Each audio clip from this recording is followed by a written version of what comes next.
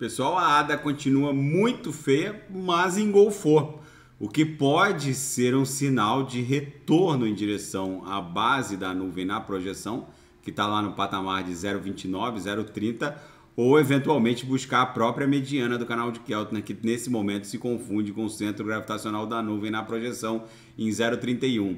De qualquer forma, em algum momento ela vai ter que voltar para dentro do canal e eventualmente testar a base da nuvem na projeção. Pode ser que esse início de retorno seja agora, a gente está meio que respeitando essa congestão aqui que foi agulhada de 30 a 31 de dezembro do ano passado.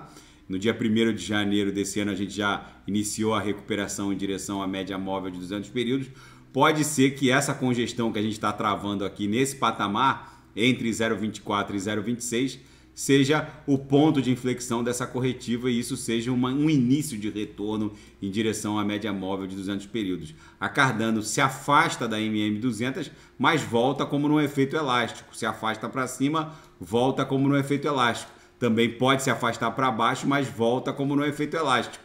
Enfim, é possível que isso aqui esteja se desdobrando aqui no eventual grande fundo duplo aqui para Cardano. Mas ainda é cedo para pontificar um retorno em direção à média móvel de 200 períodos, que segue lá em 0,35. Daqui a pouco eu volto com ETH, XRP, Polkadot Kusama e quem quiser sugerir é só colocar nas mensagens abaixo. Grande abraço, até daqui a pouco.